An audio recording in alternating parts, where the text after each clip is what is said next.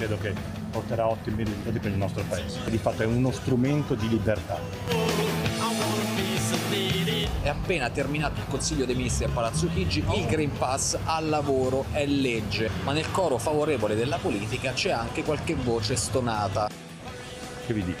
Non so se dal governo dovrete rispettare le, i Non mi dettami. entusiasma. Personalmente sul ricatto lavorativo purtroppo non ci sta.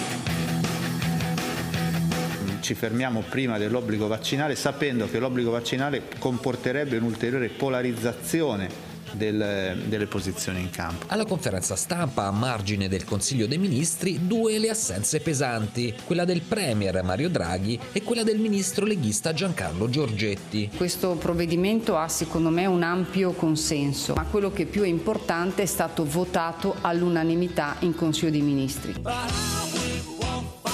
Nel pomeriggio, mentre il ministro Giorgetti firmava il Green Pass obbligatorio dal 15 ottobre, il segretario della Lega Salvini, impegnato nella campagna elettorale per le amministrative, cannoneggiava il provvedimento. Però diritto alla salute e diritto al lavoro vuol dire anche garantire dei tamponi gratuiti Le due leghe sono, sono il sogno dei nostri avversari. Noi continuiamo a lasciarli sognare. A Salvini dovrebbe avere davanti il pallottoliere col 90% che entro due mesi sarà vaccinato, rincorrere e spartirsi con gli altri il 10% dei Novax è quantomeno un calcolo matematico ed elettorale infelice. Ma Draghi non chiederà il Green Pass solo ai comuni lavoratori. Il governo infatti invita anche i componenti di Camera e Senato ad adeguarsi alla norma. è quantomeno irrituale che ci sia il governo che impone a un organo autonomo come la Camera, ma anche il Presidente della Repubblica e la Consulta, di fare una roba che ha deciso lui.